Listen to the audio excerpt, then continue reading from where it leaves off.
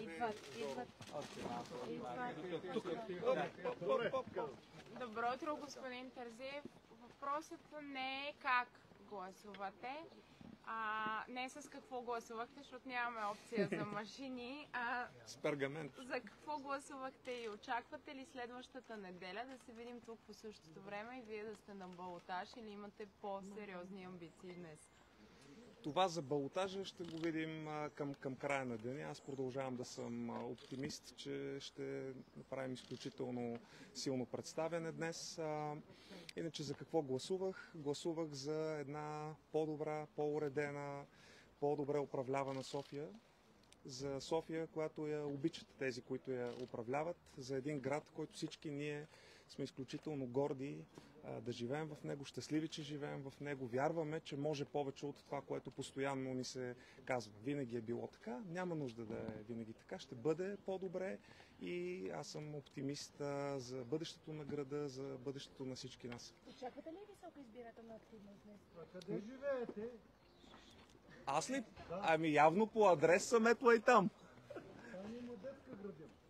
Кажете, По кажете диагонал. Избирателна А, надявам, се да има, надявам се да има висока избирателна активност, тъй като изборът днес предопределя състава на бъдещият общински съвет, предопределя много неща, които ще се случат или няма да се случат в този град. Така че апелирам всички граждани да бъдат отговорни, да разбират колко много тежи техният глас, защото поправителен няма. Чак след а, 4 години, а този един глас той се натрупва и има отношение към качеството на живот на всеки един от нас. Така че не бъдете апатични, излезте, гласувайте, е важно.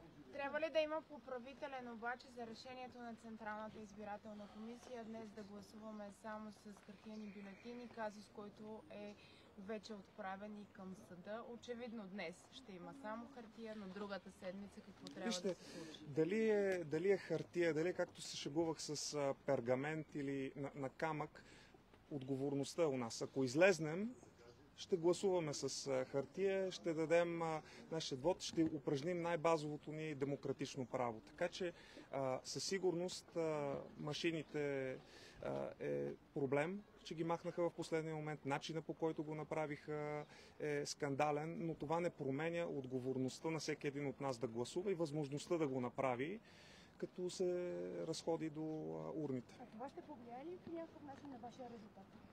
Не мога, не мога да ви кажа. Надявам се, че вотът няма да бъде опоручен, но вие сами знаете какво се е случило на последните два избора за местна власт. 15% невалидни бюлетини. Вие за лява или за дясна София гласувате? Аз гласувах за по-добра София, господин Караколев. Знаете моите убеждения. След това няколко пъти се скрихте от мен в кампанията. Исках да питам за Петър Младенов, за вашите родствени връзки.